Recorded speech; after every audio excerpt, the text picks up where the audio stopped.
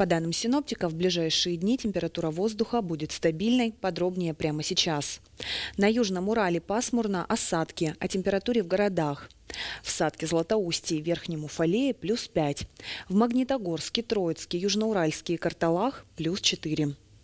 Температура воздуха в ближайшие дни в ночные часы стабильно минус 3, минус 4, а в дневные часы опустится до минус 1. На этом все. Я желаю вам хорошего настроения. До встречи на 31-м.